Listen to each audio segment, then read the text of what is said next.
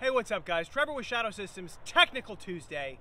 We're out at the range today and I want to explain a little bit more about the secret inner workings of the DR920P. Okay, I got the gun here.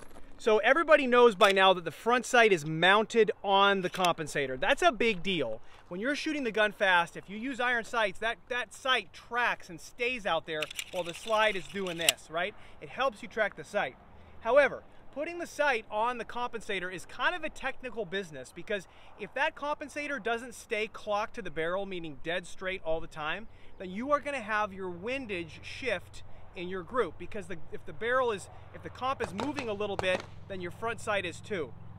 So that created a technical problem that we had to overcome with the locking key inside the barrel. And I just want to show kind of what that key is and why it's there and how it works. Okay, so you can kind of see the back of it there. This is a prototype barrel, so just ignore that. You can kind of see the back of it there. It is inside both the barrel and the compensator. Okay, I'm gonna take the compensator off and we're gonna look at it more closely. So to remove the compensator, you push out that pin and then the comp comes off from the front. All right, now check it out. There's the key, okay? It is completely locked in place inside the channel in the compensator. It cannot come out, come out.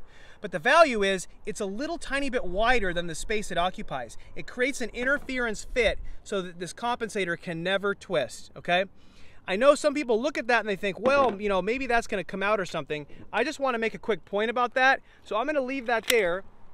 Here's, a, I guess, a 17 round mag. Let's shoot it. The, the, the uh, locking key is going to just be exposed right there, okay? Let's shoot it.